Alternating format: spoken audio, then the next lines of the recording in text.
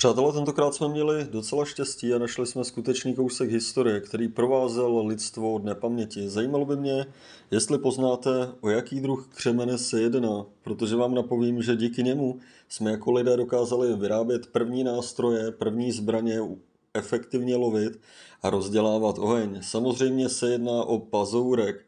Ten můžete najít ve formě pecek nebo mandlích právě v usazených horninách, především křídy a vápence.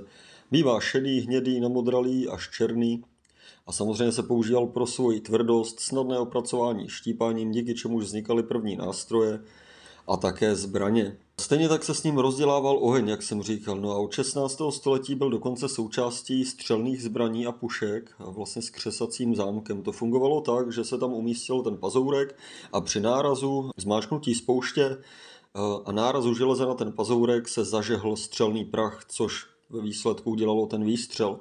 My jsme měli s Lindou štěstí a našli jsme ho tady vlastně nedaleko Liberce, za Libercem dá se říct.